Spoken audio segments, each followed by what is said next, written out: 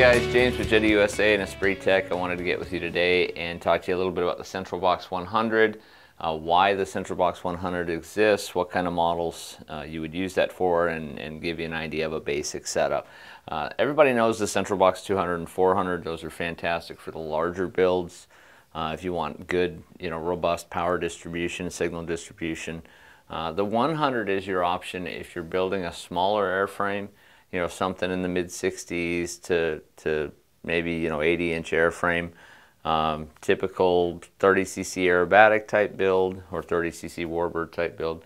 Uh, the 100 is fantastic. It gives you eight servo outputs, so you still get all the benefits, so to speak, from your that you would get out of a Central Box 200. So you're getting the uh, or fused outputs to the servos.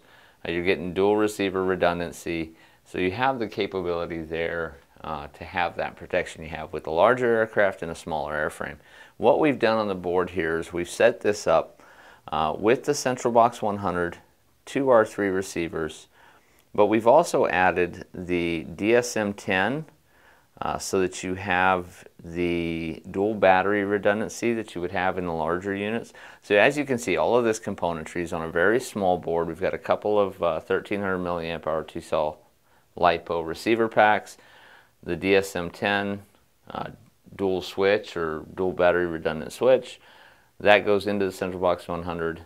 We have two of the R3 receivers uh, there for our uh, receiving duties and we have another R3 operating as a wireless switch on the DSM-10.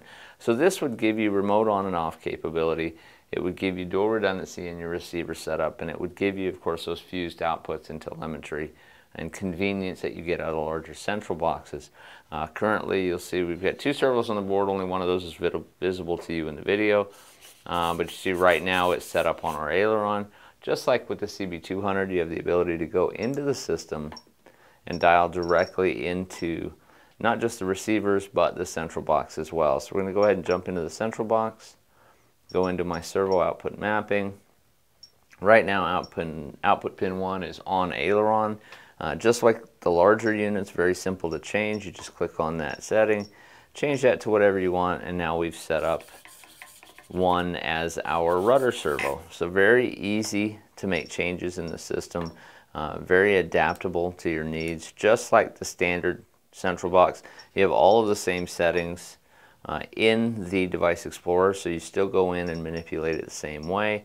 The expander settings, your telemetry, uh, all your min-max stuff is all the same. You have the ability, just like you do in the larger ones, to add a min-max switch so you can clear the values. Uh, so for capacity, you want to add a switch to clear those values. You can also do that directly in the central in the uh, Device Explorer as well. But that's our Central Box 100. We wanted just to come in and give you a quick idea on where you would use it. It seems a lot of people see the Central Box 100 and don't know what it's good for.